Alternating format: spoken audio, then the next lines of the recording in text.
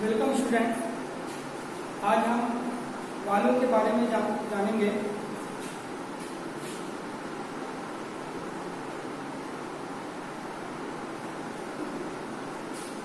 Valve हम सभी जानते हैं कि एक इंजन में दो वाल्व लगे होते हैं। पहला इनलेट वाल्व जिसे हिंदी में अंतर्गम वाल्व कहते हैं और दूसरा वाल्व होता है एग्जॉस्ट वाल्व जिसे हिंदी में वेतन वाल्व कहते हैं इन वालों का इंजन में जो काम होता है जैसे हम जाने कि इनलेट वालों का जो काम होता है सिलेंडर में जब पिस्टन पीडीसी से बीडीसी की ओर मूवमेंट करता है उस समय इनलेट वाल्व ओपन होता है और एटमॉस्फेयर से फ्रेश चार्ज सिलेंडर के अंदर दाखिल होता है और दूसरा स्ट्रोक होता है। एग्जॉस्ट स्ट्रोक जिसमें पिस्टन बीडीसी से पीडीसी की ओर मूव करता है, जिसमें एग्जॉस्ट वाल्व ओपन होता है और कंबशन चैम्बर में ईंधन के दहन के दौरान जो एग्जॉस्ट गैस होती है, वो exhaust gas exhaust valve open होने से बाहर निकल जाती है। तो इस तरह से इंजन में दो प्रकार के वाल्व प्रयोग किए जाते हैं, इनलेट वाल्व और एग्जॉस्ट वाल्व। अब, ये जो इनलेट वाल्व और एग्जॉस्ट वाल्व होता है, ये वालों के कार्य क्या होते हैं इंजन में, इसके बारे में जानेंगे। जैसे, पहला कार्य होता है, इनलेट पोर्ट को ओपन करना या क्लोज करना और दूसरा काम होता है, क्योंकि ये जो सिलेंडर हेड में बने हुए जो पोर्ट होते हैं इनलेट पोर्ट और जो एग्जॉस्ट पोर्ट होता है, उन इनलेट पोर्ट और एग्जॉस्ट पोर्ट को ओपन करना और क्लोज करना इन वालों का काम होता है।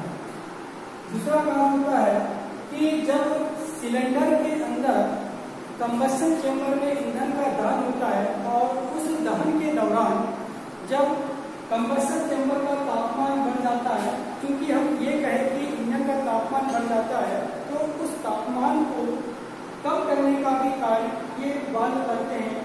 जैसे वाल्वों का जो सीट होता है, सिलेंडर हेड पर बनी हुई सीट पर बना लगा फिट होता है उसके उसके से और उसके स्टेम के माध्यम से वाल्व जो होता है और सिलेंडर हेड और कंबशन चेंबर के तापमान को कम करने का डिस्पेस करने का भी कार्य करता है। ये इस प्रकार से वाल्व का दो प्रकार के कार्य होते हैं। अब वाल्व के टाइप्स की बात करें तो वाल्व चार प्रकार के वाल्व इंजन में प्रयोग किए जाते हैं। पहला वाल्व होता है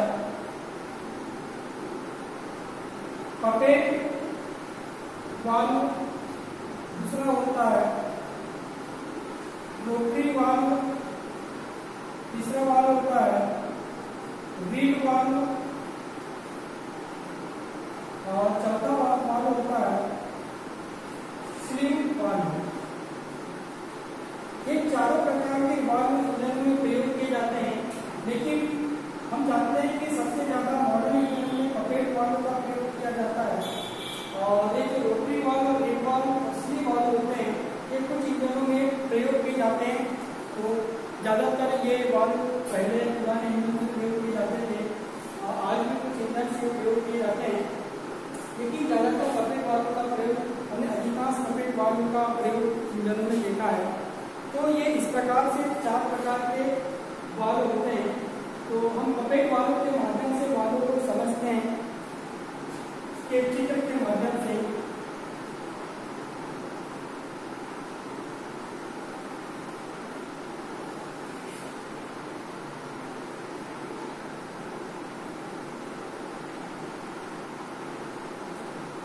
ये पपेट वालों का एक फिगर है. और इस वालों के माध्यम से वालों के पार्ट्स के नाम के बारे में जानेंगे. जैसे ये वाला भाग जो होता है वालों का हेड कहलाता है. और ये जो हेड वाला भाग है, इस का सबसे बड़ा और टेम्परेचर को सहन करने करता है भाग। दूसरा, ये जो भाग होता है, ये भाग कहलाता है? मार्जिन और ये भाग जो होता है फेस कहलाता है। और फेस वाला जो भाग होता है सिलेंडर हेड में बने हुए वाल शीट पर जाकर बैठता है। और ये जो फेस होता है, ये 30 डिग्री या 40 डिग्री पर ग्राइंड करके इस फेस को वाल सीट बनाई जाती है और सिलेंडर हेड पर बने हुए सीट पर इसको बैठाया जाता है। और उसके बाद ये वाला भाग होता है ये शोल्डर कहलाता है। और ये वाला भाग स्टेन होता है और ये भाग लॉक ग्रू होता है और इस भाग को टिप कहा जाता है। ये इस प्रकार से बालों के पार्ट्स के नाम है, जो दिया होता है उसके बाद बालों के मटेरियल की बात करें तो वाल वालों का मटेरियल इनलेट वालों और जो एग्जास्ट वालों होता है, ये अलग अलग प्रकार के मटेरियल से बनाए जाते हैं। तो इलेट वालों की बात करें इलेट वालों के मटेरियल की बात करें तो ये जो वाल होता है, ये nickel alloy steel nickel alloy steel का बना होता है? और कुछ इनलेट वाल जो होते हैं, ये सेटेलाइट फेजिंग मटेरियल के भी बने होते हैं। और दूसरा जो एग्जॉस्ट वाल होता है, ये silicon silicon chromium alloy steel का बना होता है। सिलिकॉन क्रोम एलाई स्टील के बने होते हैं। कुछ एग्जास्ट वालों सोडियम फ़िल्म वाहन भी होते हैं, जिसका प्रयोग हेवी ड्यूटी डीजल इंजन में प्रयोग किया जाता है इस वालों का। अब इलेट वाल निकल स्टोव बनाने का कारण ये होता है कि ये जो इलेट पोर्ट पर लगा होता है, उस इलेट पोर्ट से फ्रेश चार्ज सिलेंडर के अंदर आता है, जिसका टेम्परेचर जो होता है बहुत कम होता है। इसलिए ये लिक्विड इलास्टिक के बनाए जाते हैं। और जो एग्जास्ट वाल होते हैं जो सिलिकॉन क्रोम इलास्टिक का बना होता है। इसको सिलिकॉन क्रोम इलास्टिक का इसलिए बनाया जाता है क्योंकि ये हाई टेम्परेचर को सहन करता है और हाई टेम्परेचर को सहन करने की प्रॉपर्टीज़ मटेरियल में होती है क्योंकि एग्जास्ट मॉडल के माध्यम से जो है हाई टेम्परेचर एग्जास्ट गैस और सिलेंडर से बाहर निकलती है इसलिए इसको सिलिकोप्रोम इलास्टिक का बनाया जाता है इस वाल को और कुछ सोडियम फ़ील्ड वाल प्रयोग किए जाते हैं जैसे हेवी ड्यूटी डीजल इंजनों में तो ये इस तरह से कार्य करते हैं कि जो स्टेन होता है वालों का वहाँ पर सोडियम को फिलअप कर दिया जाता है और सोडियम की प्रॉपर्टीज़ ये होती है कि ये जब ठंडा होता है वालों तो ये जमा हुआ होता है और जैसे ही इंजन वर्किंग टेम्परेचर पे आता है और इंजन का तापमान बढ़ता है तो ये सोडियम धीरे धीरे पिघलने लगता है और पिघलने के दौरान क्या होता है कि इसी स्टेन के अंदर ये छलकते रहता है और जब कंबस्टर चैम्बर में ये तापमान बढ़ता है तो वायु के इस भाग पर अधिक तापमान आता है। तो ये जो सोडियम होता है, ये हेड से, वायु के हेड से टकराता है और यहाँ की हेड की गर्मी को एब्जॉर्ब करके ये स्टेम तक लेके आता है। अभी स्टेम तक लेके आने के बाद क्या होता है कि जो स्टेम वाला भाग होता है, ये डॉक्टर सिलेंडर हेड में बने हुए जो वाटर जैकेट्स होते हैं, जहाँ से कूलिंग वाटर का सर्कुलेशन होता है। उसके संपर्क में टेम्परेचर को लेकर आता है। और ये वाटर फ्लेम में आई हुई उष्मा को अवशोषित करता है एब्जॉर्व करता है और ये बाहर निकल जाता है। तो इस प्रकार से जो वाल्व होता है, इंजन की गर्मी को या तापमान को कम करने का भी कार्य करता है। तो इसलिए जो सोडियम फ़ील्ड वाल्व होते हैं, ज़्यादातर हेवी डीजल इंजन में प्रयोग किए जाते हैं, क्योंकि वो हेवी इंजन होते ज़्यादा टेम्परेचर आता है इस इंजन में। इसलिए एग्जॉस्ट वाल्व के रूप में सोडियम फ़ील्ड वाल्व का प्रयोग किया जाता है। तो ये इस प्रकार से वाल्व के प्रयोग किया जाता है। अब बात आगे करते हैं कि ये जो वाल्व होते हैं, ये वाल्वों का समय पर खुलना, समय पर बंद होना, ये वाल्व टाइमिंग बहुत आवश्यक है इंजन के लिए। यदि ये वाल्व टाइमिंग न रखा जाए तो इंजन पे बहुत से दुष्प्रभाव पड़ेंगे, जिससे इंजन सिद्ध होने की संभावना होती है। उस इंजन से मैकेनिकल इफिशियंसी कम मिलेगी और उस मैकेनिकल इफिशेंसी को अधिक लेने के लिए वालों का समय पर खुलना और समय पर बंद होना बहुत आवश्यक हो जाता है। तो जिसे हम क्या वाल्व टाइमिंग कहते हैं? जिसे हम वाल्व टाइमिंग कहते हैं। तो वाल्व टाइमिंग एक्चुअल में होता यह है कि हर इंजन निर्माता, इंजन के डिज़ाइन के अनुसार वाल्वों को समय पर खोलना और समय पर बंद करना एक समय निर्धारित करता है, जिसे हम बोलते हैं वाल्व टाइमिंग और ये जो वाल्व टाइमिंग होती है इंजन में लगे हुए पिस्टन और क्रेक साफ्ट के संबंध में वाल्वों को खोलने और बंद करने की वाल्व टाइमिंग कहते हैं इसे। तो ये वाल्व टाइमिंग बहुत आवश्यक है। यदि वाल्व टाइमिंग सही ना हो इंजन पे क्या दुष्प्रभाव पड़ेगा, इसके बारे में जानेंगे।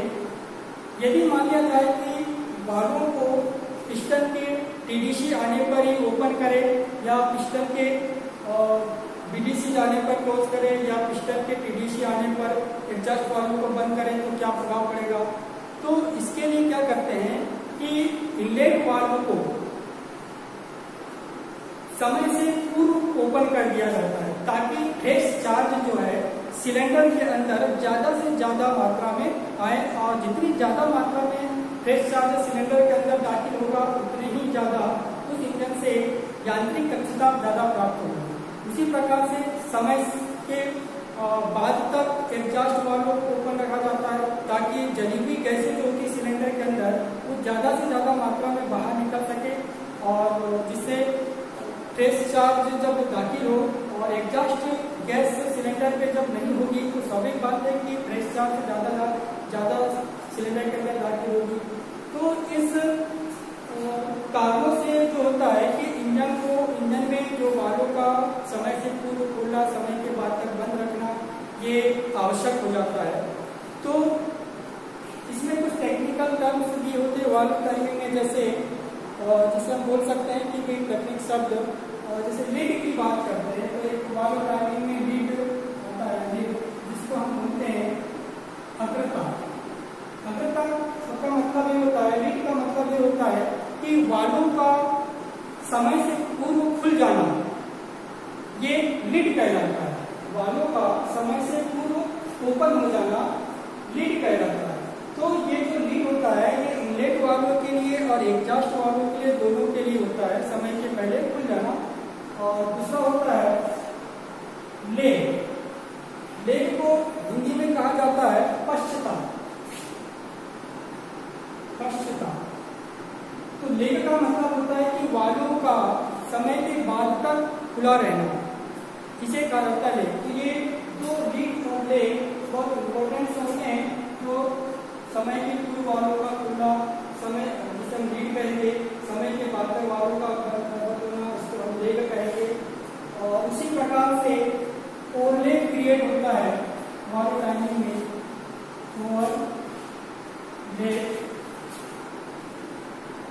पीरियड जिसको हम हिंदी में कहते हैं अति व्यापक अवधि। अति व्यापन अवधि। ओवरलेप क्रिएट का मतलब ये होता है कि इनलेट इनलेट वाल्व का इनलेट वालों को जल्दी खोलने के उद्देश्य से जो दत्त गैसें होती है, वो बाहर निकल सके। तो रोले पीरियड का मतलब ये हुआ कि सक्शन स्ट्रोक सक्शन स्ट्रोक का प्रारंभ और एग्जॉस्ट स्ट्रोक का अंत। इस बीच में एक समय आता है, जिसमें इनलेट वाला और जो एग्जॉस्ट वाला होता है, दोनों कुछ समय के लिए ओपन रहते हैं। इस स्थिति को कहा जाता है पीरियड मतलब इनलेट वालों का या सक्शन स्ट्रोक का प्रारंभ वाली स्थिति और एग्जॉस्ट वालों की, वो एग्जॉस्ट स्ट्रोक की अंतिम वाली जो स्थिति होती है, इसमें जो एक समय आता है जिसमें दोनों वाल्व थोड़ी देर के लिए ओपन रहते हैं, जिसे हम कहते हैं अति अतिव्यापन अवधि. तो ये जो इम्पोर्टेंट जो 41 डिग्री पर ये अतिव्यापन अवधि कंप्लीट होती है तो इस चीज़ों को हम जो है या हम बोल सकते हैं कि इनको एक वाल्व टाइमिंग डायग्राम के माध्यम से भी समझ सकते हैं वाल्व टाइमिंग डायग्राम ये इस तरह की जैसे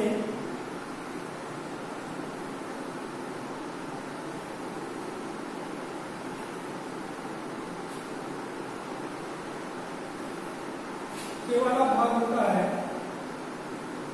टीडीसी ये भाग होता है। डीडीसी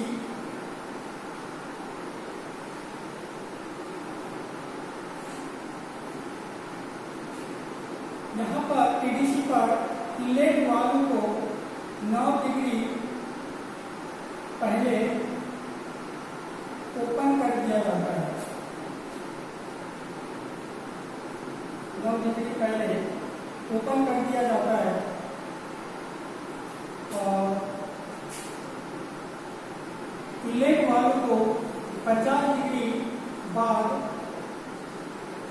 बंद करना। और एग्जॉस्ट वालों के लिए 12 डिग्री पहले ओपन करना और बीडीसी पर एग्जॉस्ट वालों को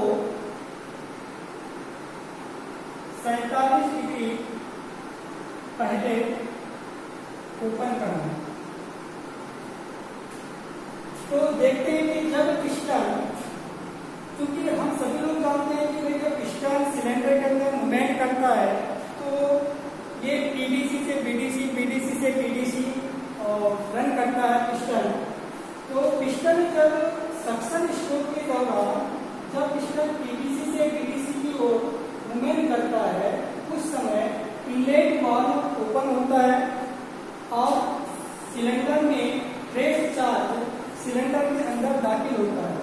तो इसको इस इलेक्ट वालों को नौ डिग्री पहले जैसे पीडीसी वाला पॉइंट ये हुआ तो इलेक्ट वालों को अपने नौ डिग्री पहले ओपन कर दिया। और नौ डिग्री ओपन करने के बाद मतलब पिस्टन यहाँ पर उस समय पीडीसी पर ही होता है। और हमारा इनलेट वाल्व नौ डिग्री पहले ही ओपन हो जाता है तो जब नौ डिग्री पहले ओपन होगा तो स्वाभाविक बात है कि पिस्टन के चढ़ने के पहले ही फ्रेश चार्ज जो है सिलेंडर के अंदर आना प्रारंभ हो जाता है और जैसे ही पिस्टन चलना प्रारंभ करता है तो सिलेंडर के अंदर वैक्यूम क्रिएट होता है उस वैक्यूम के कारण सिलेंडर के अंदर पूर्ण रूप से चार्ज सिलेंडर के अंदर भर जाता है अब पिस्टन जब बीडीसी पर आ जाता है उसके बावजूद भी यहाँ इलेक्ट वालों को 50 डिग्री भर तक ओपन रखा जाता है ताकि सिलेंडर में ज़्यादा से ज़्यादा मात्रा में फ्रेश चार्ज दाखिल हो सके इस उद्देश्य से हम पिस्टन को पिस्टन स्ट्रोक स्टार्ट होने के पहले ही नौ डिग्री पहले ओपन कर देते हैं और पचास डिग्री बाद तक इसको बंद करते हैं। ये वालों के लिए होता है। अब उसी प्रकार से वालों की बात करें तो पिस्टन जब बीडीसी पर होता है तो वालों को सैतालीस डिग्री पहले ही ओपन कर दिया जाता है ताकि पीडीसी की ओर चलना प्रारंभ करे तो ये ज़्यादा से ज़्यादा मात्रा में एग्जॉस्ट गैस जो है, सिलेंडर के बाहर निकल सके। क्योंकि हम जानते हैं कि जब पिस्टन एग्जॉस्ट स्ट्रोक में पिस्टन बीबीसी से पीडीसी की चलना प्रारंभ करता है तो हमारा उद्देश्य ये होता है कि ज़्यादा से ज़्यादा मात्रा में एग्जॉस्ट गैस सिलेंडर से बाहर निकले, ताकि जो सेकेंड स्ट्रोक होता है। सेकेंड स्ट्रोक में फ्रेश चार्ज सिलेंडर के अंदर अच्छी तरह से दाखिल हो सके तो यहाँ पर ये इनलेट वाल्व चलना एडजस्ट वाल्व चलना प्रारंभ किया। तो जब पिस्टन पिस्टन धीरे धीरे पीडीसी को चलना प्रारंभ कर दिया और जब ये चलना प्रारंभ करेगा तो पिस्टन जब एडजस्ट स्टोर में पीडीसी पर पहुँच भी जाता है उसके बावजूद भी एग्जॉस्ट